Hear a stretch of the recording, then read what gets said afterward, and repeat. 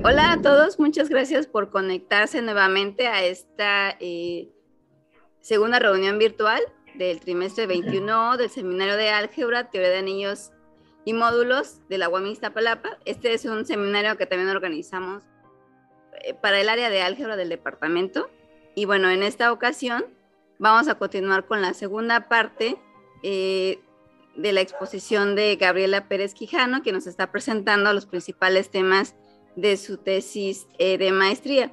Como lo había mencionado en sesiones, eh, en la sesión anterior, eh, Gabriela se tituló de la Facultad de Ciencias de la UNAM y cabe mencionar que por su tesis de licenciatura en 2019 fue merecedora de una mención honorífica en el premio Sotero Prieto que realiza la Sociedad Matemática Mexicana.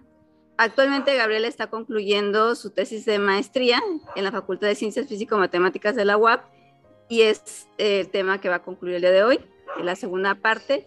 El tema de su tesis es cociclicidad como puente entre anillos de, Cute y anillos artinianos e ideales principales. Adelante, Gabriela. Adelante, Gaby. Muchas gracias, muchas gracias, Liz. Y otra vez, muchas gracias a todos por estar aquí. Y, y otra vez, me da muchísimo gusto estar aquí compartiendo con ustedes. Eh, bueno, si quieren comenzamos. Em, la semana pasada eh, nos habíamos quedado, ah, la semana pasada nos habíamos quedado en este teorema que habíamos dicho que es interesante porque responde a la pregunta de cómo tendría que ser un, un anillo para que todos sus cocientes sean cocíclicos. Y esto tenía sentido preguntarlo porque, como habíamos visto, los módulos cocíclicos son un caso particular de los finitamente cogenerados de modo que eh, conocemos cuando los cocientes de un anillo son finitamente cogenerados y eso ocurre con el anillo sartiniano. Entonces, tiene sentido hacerse esa pregunta y este teorema la responde. Entonces, en concreto, el teorema dice eh, que si... Ah, disculpen, tengo un minuto.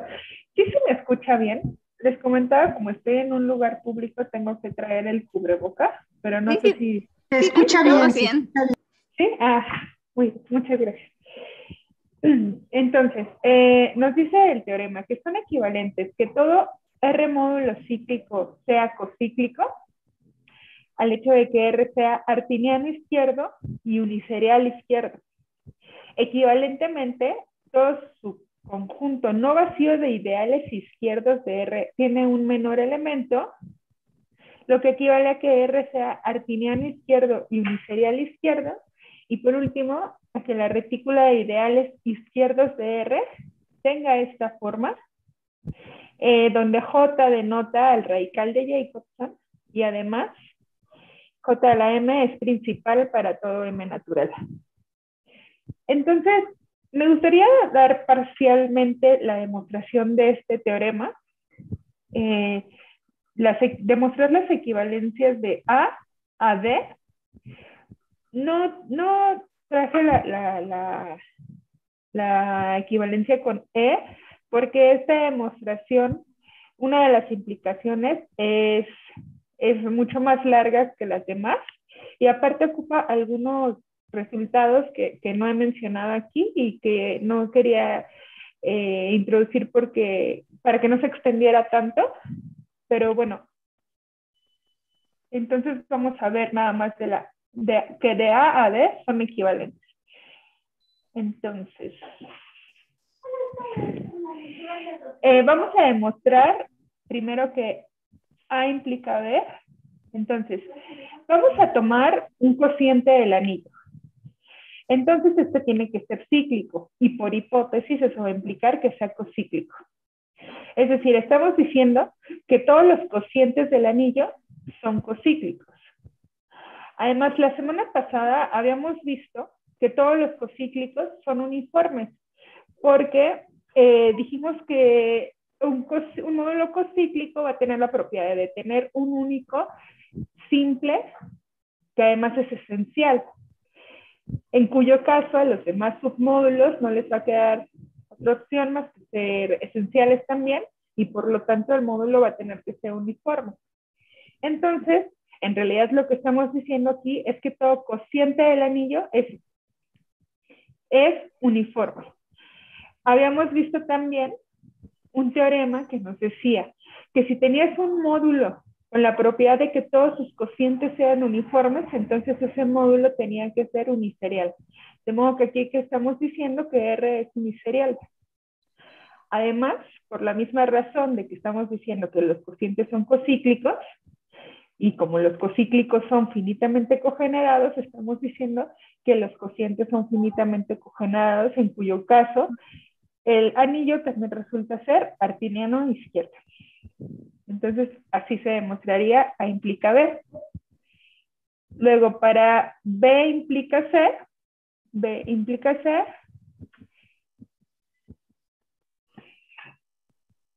si consideramos una familia no vacía de ideales izquierdos de R, como R es eh, artiniano, entonces eso va a implicar que tal familia tenga un mínimo, pero además por ser R unisorial, eh, dicho mínimo va a tener que ser un menor elemento. Entonces, de esa manera quedaría demostrado B implica C. Ahora vamos a demostrar C implica D.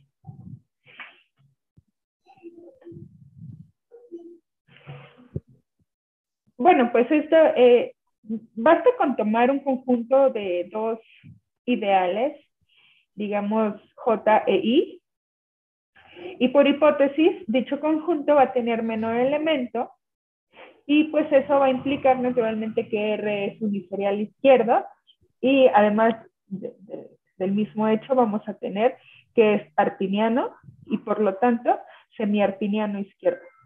Artiniano izquierdo.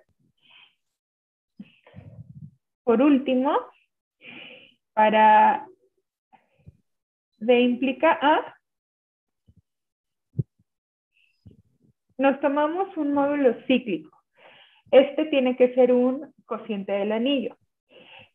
Pero el anillo por hipótesis es uniserial izquierdo y semiartiniano izquierdo, de modo que dicho cociente también tiene que ser uniserial izquierdo y semiartiniano izquierdo.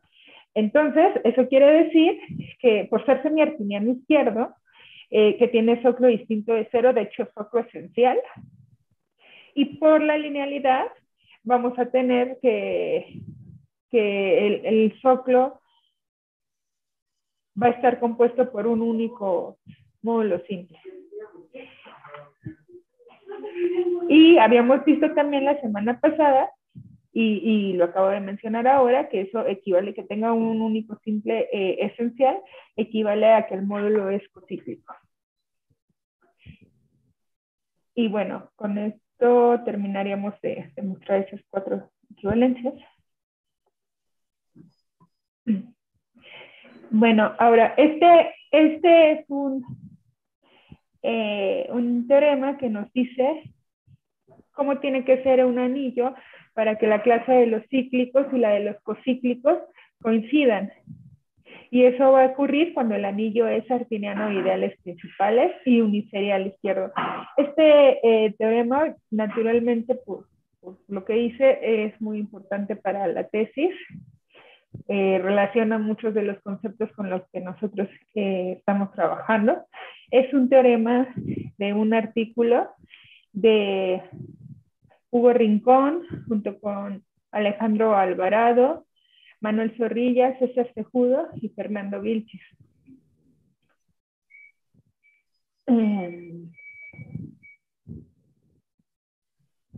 bueno, ahora aquí agregué la, definición de anillo de Cute que no había puesto así en forma, que recordemos que un anillo de Cute izquierdo es un anillo para el cual todo R módulo izquierdo es una suma directa de R módulos cíclicos izquierdos, análogamente para el caso derecho. Y bueno, diremos simplemente que es de Qt si es de Qt izquierdo y derecho.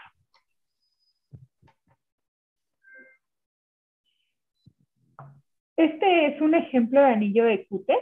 Si consideramos el anillo ZN con N1 natural, sabemos que la categoría de ZN está comprendida por los eh, grupos abelianos que tienen esta propiedad.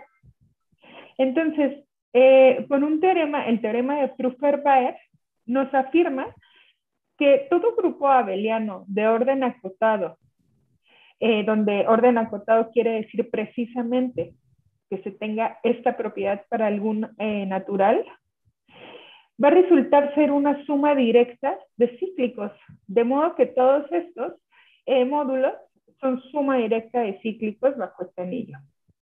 Por lo tanto, ZN resulta ser un, anillo de Qt.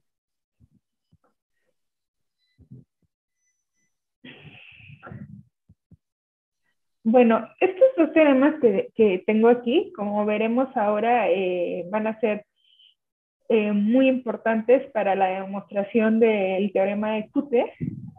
Este sobre todo, y este en el sentido de que con, con, este, o este se ocupa para demostrar este. Entonces, este primero nos dice que si tienes un anillo artiniano izquierdo, entonces, si la clase de los cíclicos es cerrada bajo monomorfismos esenciales y epimorfismos superfluos, entonces el anillo va a resultar ser de Qt izquierdo. Y este de abajo nos dice que si tienes un anillo artiniano izquierdo y, consideras igual a la clase de los R módulos cíclicos, entonces, si esa clase es cerrada bajo submódulos, cocientes, cápsulas inyectivas y cubiertas proyectivas, entonces R es de Qt izquierdo también. Eh, bueno, aquí está el teorema de Qt, que como recordarán nos dice que R es un anillo artiniano de ideales, si R es un anillo artiniano de ideales principales, entonces R es de Qt.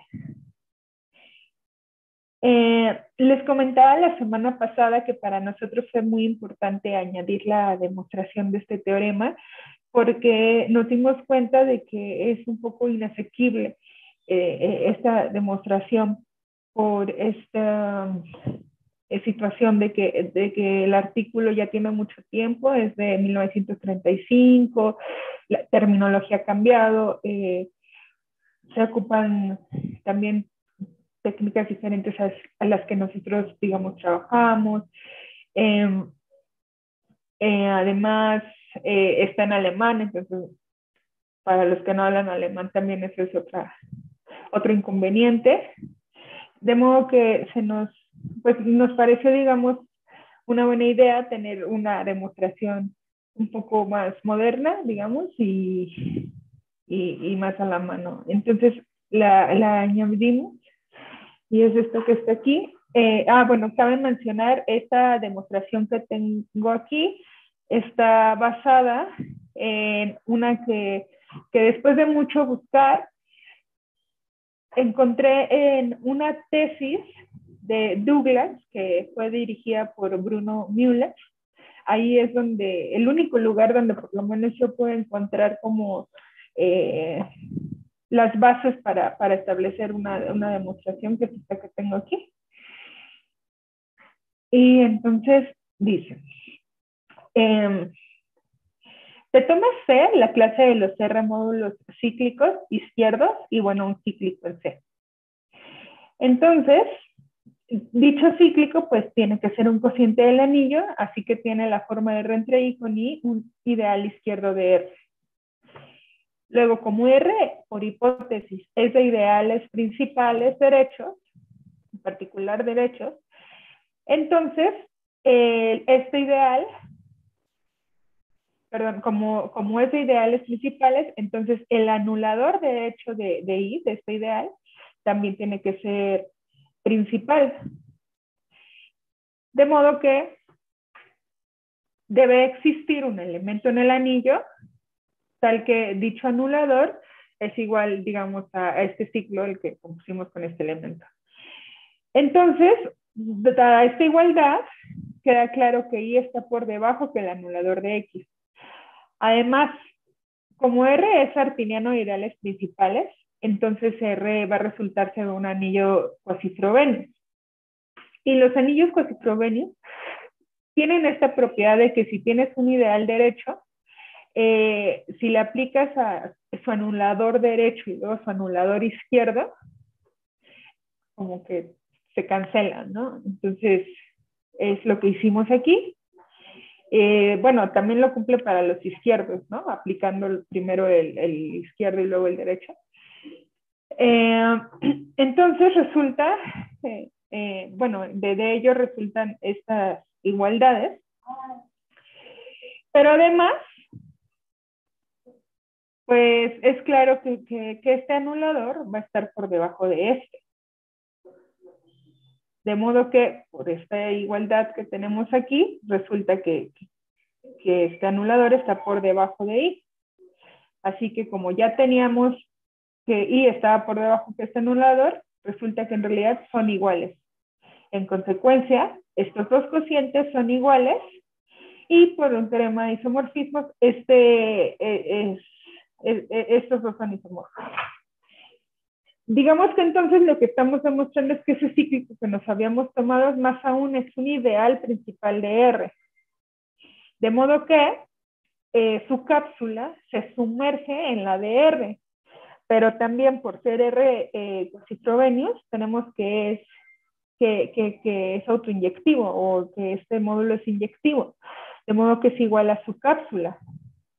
Entonces lo que estamos diciendo es que la esta cápsula se sumerge en el anillo, que como es inyectiva, claro, entonces vamos a tener que es un sumando directo del anillo y por lo tanto es un cociente del anillo. Es decir, que la, que la cápsula es cíclica, es decir, que pertenece a la clase C. En otras palabras, C es cerrada bajo cápsulas inyectivas. Entonces, veamos una. Ahora, vamos a considerar para el cíclico una cubierta proyectiva que sabemos que la podemos tomar porque el anillo es artiniano izquierdo y por lo tanto perfecto. Ahora, eh, como M es cíclico, es un, otra vez un cociente del anillo, entonces existe un epimorfismo de RNM.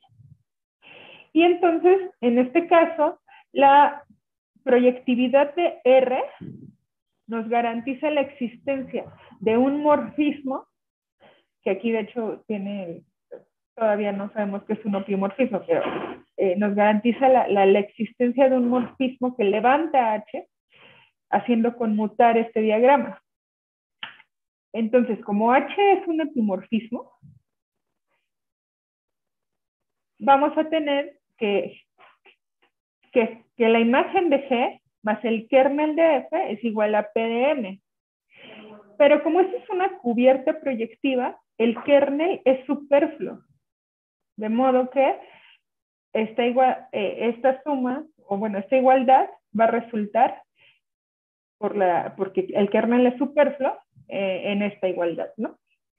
De modo que resulta que G es un epimorfismo, lo que implica que pues que PM es un cociente y, es decir, que es cocíclico. Un cociente del anillo y por lo tanto es cocíclico. Por lo tanto, la cápsula pertenece, la cubierta, perdón, pertenece a C, entonces la clase C es cerrada bajo cubiertas proyectivas. Eh, ahora, si tomamos un submódulo del cíclico o del cociente, eh, como R es de ideales principales, entonces vamos a tener que este J eh, tiene esta forma para algún X en el anillo y por lo tanto esto va a implicar que eh, este cociente sea igual a por X más Y. Es decir, que también es un cíclico, entonces está en la clase. Y con ello queda demostrado que eh, la clase es cerrada bajo submódulos. Y bueno, por último, pues ya, ya sabemos que, que esta clase es cerrada bajo cocientes. De modo que eh, por el teorema que habíamos visto acá, resulta ser, ya tenemos que cerrado bajo submódulos, cocientes, cápsulas inyectivas y cubiertas proyectivas. Entonces R es de QT izquierdo. Pero como, la, como la, el concepto de eh, anillo artiniano ideales principales es simétrico, entonces digamos que esta prueba vale para el lado derecho y por lo tanto el anillo también es de QT derecho. Eh, en conclusión, el anillo es de QT. Eh, eh, bueno, pues este, como les decía, eh, esencialmente en la demostración de este teorema están las cerraduras de, de, los cíclicos, ¿no? de la clase de los cíclicos.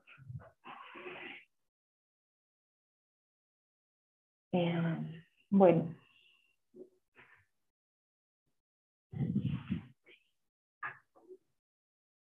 Este es un teorema que demostró Chase y que es un teorema que pertenece a, esto, a esta teoría que les mencionaba la vez pasada de intentos que se hicieron por demostrar el inverso del teorema de Chase, que como les comentaba es todavía un problema abierto. Este es un muy buen acercamiento que nos dice que si R es un anillo con la propiedad de que, de que la suma directa de módulos finitamente generados, de que todo módulo izquierdo es una suma directa de módulos finitamente generados, entonces R es artiniano izquierdo. Entonces, les decía, no, no se parte de que las sumas eh, son de cíclicos, ni se llega a que es artiniano de ideales principales, pero eh, es una muy buena aproximación.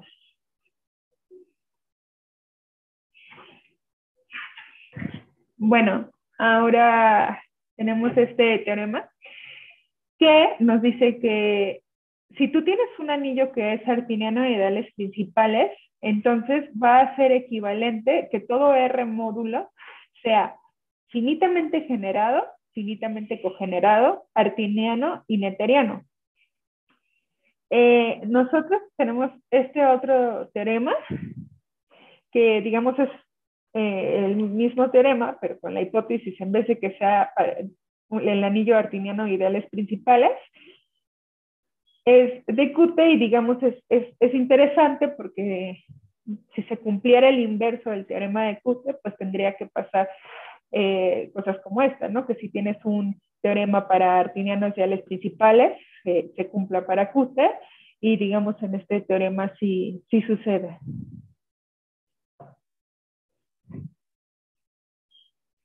Um, estos son dos, dos teoremas que, que demostramos porque los necesitamos eh, para demostrar el siguiente. Eh, si R es un anillo de QT izquierdo, entonces R entre I es un anillo de QT izquierdo para todo ideal bilateral I. Y si R es un anillo artiniano izquierdo, y la cápsula de R es, un cíclico izquierdo, entonces R va a resultar ser autoinyectivo izquierdo. Y bueno, llegamos a este teorema eh, que es bonito porque nos dice un caso en el que los anillos de QT y los artinianos de ideales principales van a coincidir y esto va a ser cuando el anillo sea uniserial. Eh, hay un eh, resultado ah, eh, en un trabajo de 2019, que ahorita les muestro en, las referencias, se demuestra que si el anillo es uniforme, entonces también QT es equivalente a artiniano de ideales principales. Entonces, digamos, ese teorema implica este teorema pero digamos ese, este teorema tiene este añadido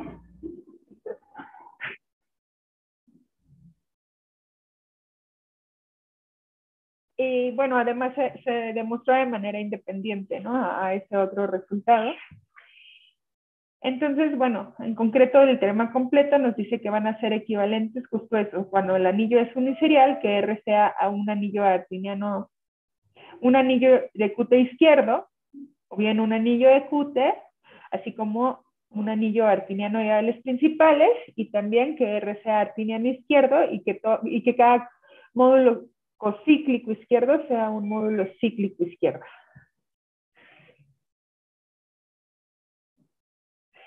Em, bueno, eh, les comentaba la semana pasada que pues después de revisar, digamos, toda esta teoría y dado que nosotros, pues, como, como vimos, trabajamos mucho con el concepto de, de cocíclico, que pues es, es el concepto dual acíclico, una manera eh, que, que, se nos ocurrió, digamos, de dualizar el, el, concepto de anillo de Cute fue esta, que como platicábamos la semana pasada, eh, no es la única, eh, pero digamos es, es la que añadimos nosotros.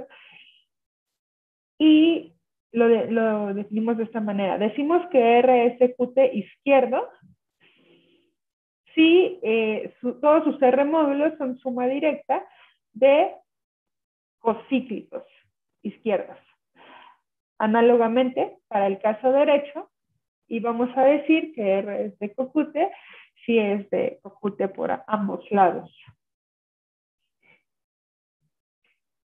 Bueno, un ejemplo de estos anillos sería este. Si consideramos, ah, bueno, aquí añadí a, forma de recordatorio que los Z módulos cocíclicos son los que tienen la forma Z K con P1'. primo. Eh, entonces acá, si consideramos al anillo ZP a la N con eh, P1' primo también, entonces eh, por el eh, ejemplo que acabamos de ver de anillo de Cute, habíamos visto que los, todos los ZN son de Cute. En particular, estos van a ser anillos de Cute. De modo que para estos anillos tenemos que todos sus módulos son suma directa de cíclicos. Pero tales cíclicos entonces deben de tener la forma ZM con M tal que divide a P, a la N, lo que obliga entonces a que M tenga la forma P a la I para algún I. Entonces, por este ejemplo que tengo aquí, lo que estoy diciendo es que estos cíclicos que me estoy considerando, cuya forma en realidad es esta, son cocíclicos. Es decir, estoy diciendo que la suma de todos los, los módulos sobre este anillo eh, perdón, que todos los módulos sobre este anillo se pueden representar como suma de cocíclicos, es decir, que el anillo es de Foucault. Eh, bueno, y finalmente, este pues es un teorema que pues ya con todo lo que hemos revisado, eh, podemos ver que van a ser equivalentes que el anillo sea artiniano ideales principales uniserial, a que sea de cute o de cocute uniserial, y que la clase de los R módulos cíclicos sea igual a la de los R módulos cocíclicos. Que precisamente es como lo que ocurre en este ejemplo, ¿no? Aquí los cíclicos resultaban coincidir con los cocíclicos sin embargo, perdón, y, el anillo es artiniano de ideales principales y uniserial, ¿no? Eh, bueno, y pues básicamente eh, esto, esta es la, la, sección final de mi tesis, cuando hablo de los de Copute. Y entonces básicamente era todo lo que quería decirles. Eh, si quieren, les, les muestro la, las referencias. Este es el artículo que les comentaba en el que se demostró que si el anillo es uniforme, entonces coinciden artiniano de ideales principales con, con Y, y, bueno, creo que algunos otros ya se los había mostrado. Esta es la, la tesis donde les digo que, eh, que están las bases para la demostración de, del teorema de Cute. Y bueno, creo que ahora terminé un poco más temprano. Disculpen si hubo mucho ruido, les comentaba que les comentaba al principio que eh, se fue la luz en mi casa y tuve que correr a un internet. Por eso estoy aquí en, en un lugar abierto y tal vez escucha mucho ruido. Espero que no haya sido muy incómodo. Y pues bueno, eso sería todo por mi parte. Muchísimas gracias. Muchas gracias, Gaby. Al contrario, gracias, a ti por eh, ser tan profesional y, a pesar del inconveniente de la luz, pues eh, buscar la manera, ¿no? De presentar tu tesis. Eh, a mí me ha parecido muy interesante todo lo que han hecho y todos los resultados que, que han avanzado, que han, que han realizado, tanto los, sobre todo los que son originales o las nuevas demostraciones que han dado. pero bueno, ¿alguien tiene preguntas o comentarios para Gaby? Yo tengo, bueno, Rogelio ya alzó la mano. Yo tengo dos, pero démosle primero la palabra a Rogelio. Ok, primero vamos con Rogelio y luego sigue tú. Ah, bueno, gracias. Este, bueno, este, eh, haciendo referencia a estos artículos antiguos que tienen un montón de nomenclatura y que la nomenclatura ha cambiado y que pues también nosotros nos hemos enfrentado a, entender qué querían decir con uniserial, uniserial generalizado, uniserial universal, y ya no recuerdo qué tantas cosas. Este, de ese artículo que estudiamos Silvia y yo hace mucho tiempo, y Silvia se debe acordar del autor, creo que no es Faith eh, ni Kete, eh, sino alguien más, pero bueno, eh, no, nos quedó la idea, porque nunca vimos la demostración, nada más es una afirmación, de esta caracterización que, bueno, yo, yo siempre la, la tomo en consideración. veo que, tú no, no, las, no has hecho referencia a, a ella, pero es el teorema que es similar al teorema de Wedderburn-Artin, que dice que, los, eh, los, anillos artinianos de ideales principales se caracterizan como producto finito de anillos de matrices con coeficientes anillos que nosotros llamamos locales uniseriales, pero que tú les estás llamando artinianos de ideales principales uniseriales. Eh, ese teorema me, llama mucho la atención. Este, la verdad es que no hemos visto la demostración tal cual, sino que pues nos, creemos la afirmación de aquellos teoremas. Y, además se me hace un teorema más o menos natural y, y digamos, este, un reflejo del teorema famoso de Wedderburn-Artin. Entonces, no sé eh, si, no sé qué me puedes comentar acerca de ese teorema. Mm, sí, sí lo, lo, conozco, pero e, ese lado de, los, de, o esa caracterización de los artinianos de alas principales, yo eh, en lo personal no la he explorado. De hecho, no es la primera vez que trabajo con estos anillos pero digamos que siempre me he ido como por otra ruta, o al menos hasta ahorita las cosas que, en las que yo he trabajado, eh, o, no lo he necesitado, o tal vez sí lo pude haber necesitado, pero no, no lo he explorado yo. Y entonces eh, sí la conozco, pero no, nunca lo he ocupado y quizás sí sería bueno, quizá como profundizar más en ese teorema que, eh, y, ver qué, qué, resultados nos puede dar, ¿no? Pero sí, la verdad no, nunca he ocupado esa caracterización de, los anillos. Ok, eh, gracias. Y la segunda pregunta es, eh, a ver, según entendí, la equivalencia entre anillos de Kete y anillos artinianos de, ideales principales todavía está abierta, ¿verdad? Sí, que sí está abierta todavía, que, que, que Qt implique arteriales principales todavía es un problema abierto. Solo se sabe, como decía, para el caso de anillo conmutativo o ahora un serial. E, exacto, sí, esa era mi pregunta. Lo que pasa es que no. Sí, es que no recordaba que lo, no recordaba, pero ya, ya me lo contestaste. Para anillos conmutativos, sí. Conmutativos. Sí, para anillos conmutativos lo demostraron Cohen y Kaplansky. Ok. Bueno, nada más, muchas gracias. No, muchas gracias a ti. Gracias, Rogelio. Eh, Elías.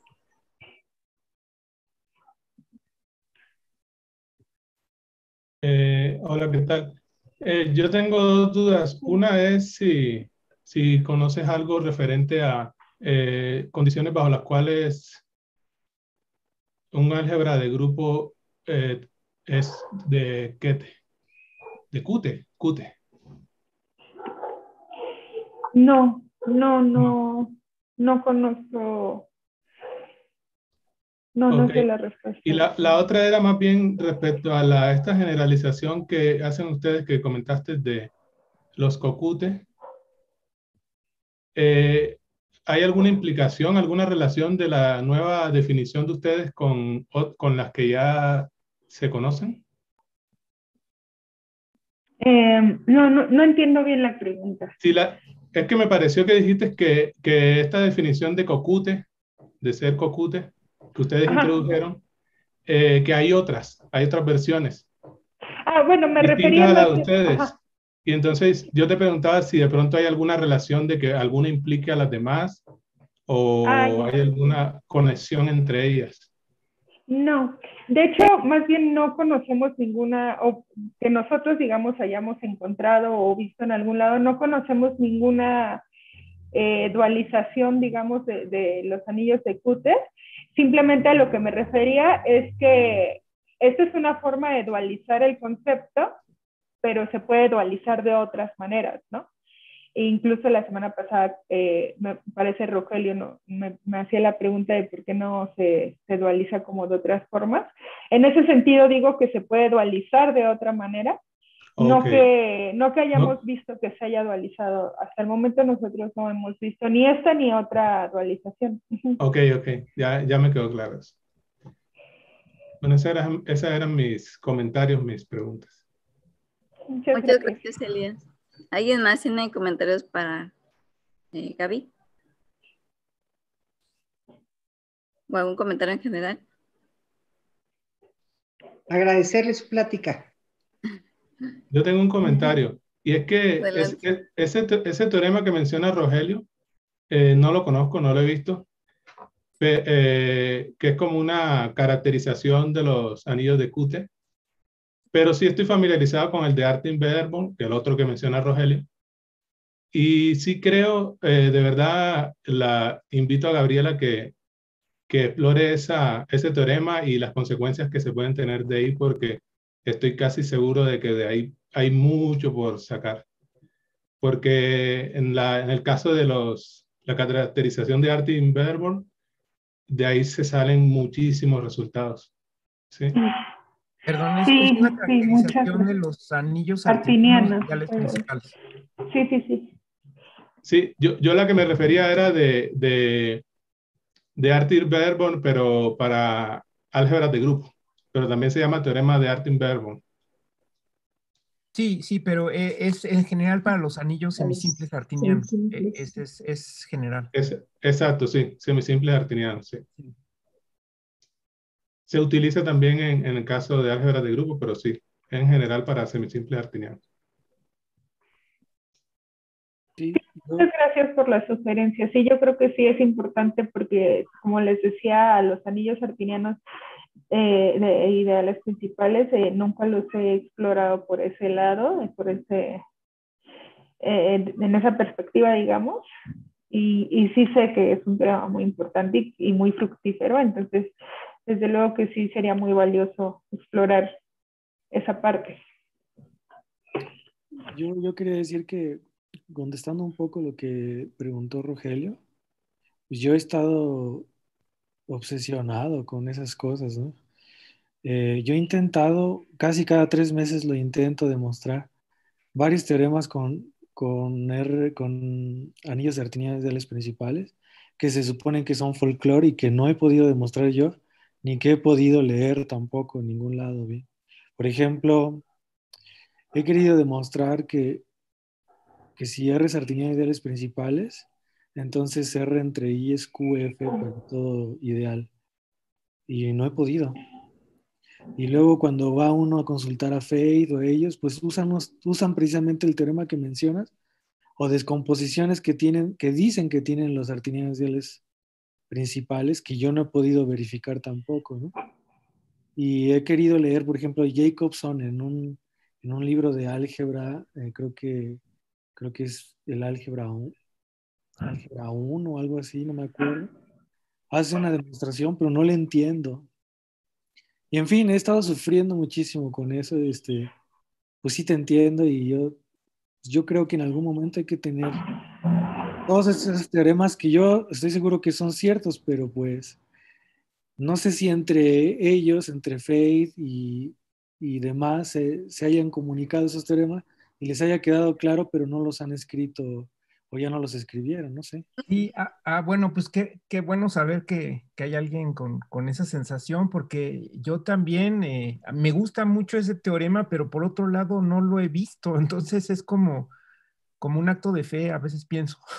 Sí. Entonces, este, y por otro lado, bueno, eh, Silvia y yo apreciamos mucho ese teorema porque eh, nosotros caracterizamos la retícula de prerradicales sobre los anillos artinianos ideales principales usando ese teorema, puesto que la retícula de radicales, por ese teorema, o sea, suponiendo ese teorema, es un producto de las retículas de anillos locales uniseriales, o sea, uniseriales artinianos ideales principales, que, que ya las, las describimos. Entonces, este, eh, e, eso por otro lado que nosotros sentimos que es una descripción quizá el único, bueno, aparte de los anillos semisimples artinianos, es la única otra descripción precisa de una retícula de perradicales, pues entonces te imaginarás que, que, apreciamos mucho ese, ese teorema, ¿no? Pero por otro lado, como dices, pues no, yo no he visto, no recuerdo haber visto la demostración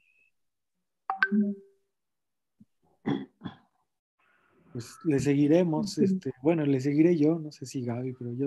Pues sí, y, nos comunicaremos, ¿no? Porque sí, este, yo creo que este, podemos comunicarnos a ver qué, qué encontramos por ahí. Ok, está bien. bien. ¿Alguien más desea comentar algo? Este, Silvia, ¿tú deseas comentar algo? Pues me, quedé pensando un poco en, la pregunta que hacía Elías y pues quizá tenga un poco que ver el trabajo reciente, no sé si esté Benigno Mercado conectado, probablemente sí, que él está trabajando sobre álgebras de grupo y bueno, recientemente con las ideas de, de Rogelio y con este trabajo que Rogelio también mencionó, fue posible probar que, que en el caso, en el caso concreto, eh, en el que la, eh, la característica del campo divide al orden del grupo, es decir, la característica del campo sea, por ejemplo, P y el grupo sea un, P grupo cíclico, en ese caso en particular, este, pues la, resulta que la, la, retícula de ideales de, del álgebra KG, del álgebra de grupo, también cumple con esto de ser una cadena, ¿no? Una cadena finita. Eh, bueno, eh, de, bueno, entonces eh, creo que quizá bueno, en ese caso resulta ser un anillo este, local uniserial o como Gaby menciona, ¿no? Artiniano de ideales principales uniserial, creo que es la terminología, ¿verdad? Entonces, bueno, pues en ese caso concreto, ¿no? Esas álgebras de tipo de representación finito con esa, con esa característica, pues resultan ser de este tipo, ¿no? Eh, Entonces, en, esa, en, en, esa situación termina siendo, siendo de Qt, ¿cierto? Eh, sí, sí, efectivamente. Sí, yo, también he trabajado con esos, eh, pero en, en, otro contexto de teoría de códigos, pero sí, sí los conozco. No, no había pensado de que esos terminan siendo de Qt. Y bueno, ahí Rogelio fue quien se percató y bueno, sí, sí, este, ese es, es, un ejemplo. E, esos este, aparecen, por ejemplo, en teoría de códigos cuando se estudia eh, un álgebra de grupo que es muy, muy sencilla, que es, eh, te tomas el campo F4 y el grupo cíclico C2, o sea, el cíclico orden 2, y con eso se pueden hacer aplicaciones para estudiar unos códigos que se llaman códigos de ADN. ¿Sí? Entonces aparecen esas álgebras de grupo que tú estás mencionando, que no son semisimples y que tienen una, el, la retícula ideal es una cadenita así como esa que expresas. Y de, de hecho, perdón, para, para, ver los ejemplos, yo creo que este, Elías tiene experiencia precisamente con, con esos ejemplos concretos, entonces también, también vale la pena ahí comunicarnos. Sí, claro. Me, eso me parece muy interesante eso. Sí, sí, sí que lo es. Gracias, Gabriela. No, pues qué bueno que todos nos ha parecido muy interesante el tema y por lo visto hay mucho trabajo por hacer y comunicarnos. ¿no? Sería genial que cuando puedan, pues también se, se comuniquen entre ustedes. Y este, también si alguien está el email de Gaby, cuando les mandé el mensaje, pues ahí venía, si no cualquier cosa me, me escriben o también les envió la información de, de Gaby. Y bueno, y si nadie tiene otro comentario, este, quien quiera, pues se puede activar su camarita y, y tomamos nuestra screenshot de recuerdo.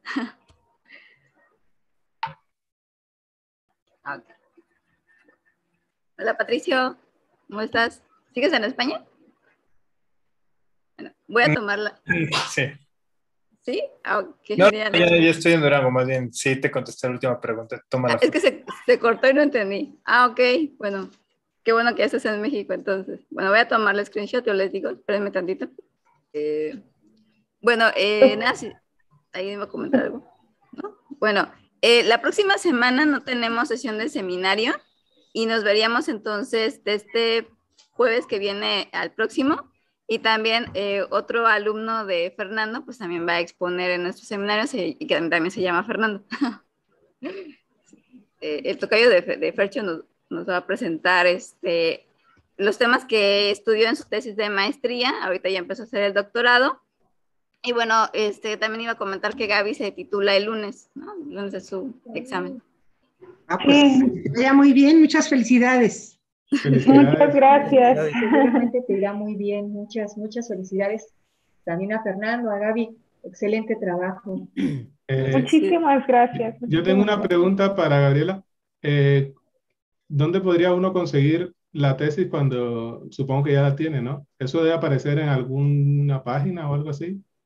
Eh, sí, ten- eh, tengo que enviarla a, la biblioteca de, de la UAP. Ah. Entonces, en la- ahí en la, en la página, si no, pues de todas maneras, supongo que ya que eh, termine de ponerle todos los detalles que me piden, pues yo también ya se las puedo enviar a quien quiera. Sí, a mí me interesaría, Este, gracias. Sí, con mucho gusto. Este, también podrías quizá pasarme tu correo o quizá a través del LIS y este, para que te la envíe en cuanto ya le faltan Eh, unas Yo, te escribo un correo. Eh, Lisbeth nos dijo que ahí está tu correo, entonces te puedo escribir un correo para Sí, recordar. sí, Por ahí con mucho gusto. Gracias. Sí, claro que sí, con mucho gusto. Muchas gracias. Bueno, muchas gracias a todos por conectarse. Hola María No, a José. ti, Liz, a Gracias, ti, Liz, por gracias a organizar el seminario. Muchas Muchas gracias. gracias a todos. gracias. Este, bueno, yo me Gracias, despido. Gabriela, que te vaya bien. Muchísimas gracias. Gracias a todos por Cuídense presentarse. todos. Gracias. Adiós Saludos. a los, Cuídense. Adiós, a todos. saludos a los. Edgar. Hasta Saludos. luego. Chao. Bye. Saludos. Bye.